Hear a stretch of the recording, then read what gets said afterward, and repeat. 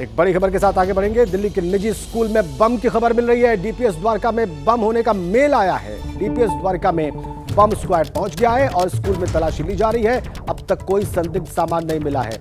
और ज़्यादा जानकारियाँ देंगे वरुण जैन, हमारे सहयोगी, हमारे साथ फ़ोन लाइन पर जुड़े हुए हैं। वरुण, और क्या अपडेट मिल रही है आपको? बजे के आसपास मेल के ज़रिए डीपीएस द्वारका में ये जानकारी दी गई किसी ने मेल किया कि स्कूल के अंदर बॉम्ब है, जिसके बाद दमकल विभाग और पुलिस को इस बात की जानकारी दी गई है दिल्ली पुलिस के आला अधिकारी बॉम्ब निरोधक दस्ता दमकल की जो गाड़ियाँ हैं वो अभी मौके पर है। पूरे स्कूल की तलाशी ली जा रही है।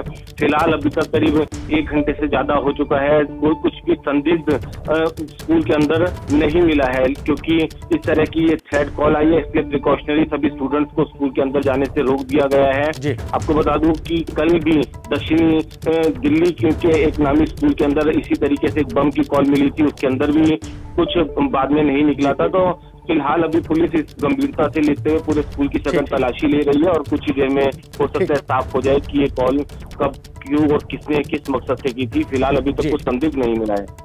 शुक्रिया वरुण आपका।